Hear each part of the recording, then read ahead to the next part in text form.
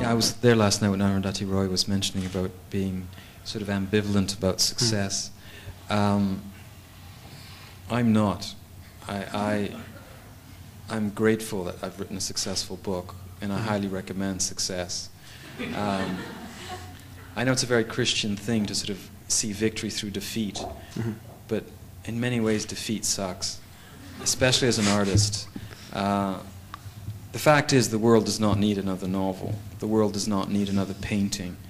Um, so you, if you have that urge to create, uh, to write a novel, create a painting, compose a symphony, you have to somehow impose it on the world, and that's really difficult. It takes a lot of energy, and um,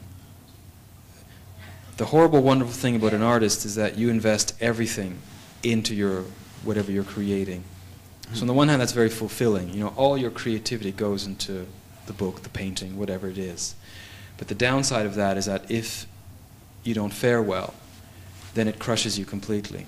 Um, if you have a string of, def- of, of, of failures, it's not just your work. It's not like a dentist who has you know three imp, you know cranky patients in a row.